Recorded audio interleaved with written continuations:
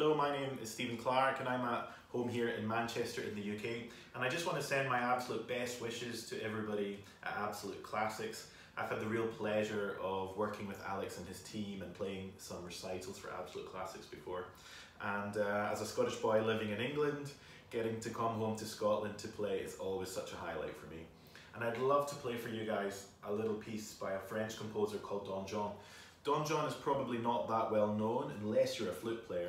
All flute players know of this guy, and that's because as well as writing a whole load of music for flute, he also, for many, many years in the mid 1900s, was the principal flute player of the Paris Opera Orchestra. And this is probably his most famous piece for solo flute, and it's simply called the Elegy.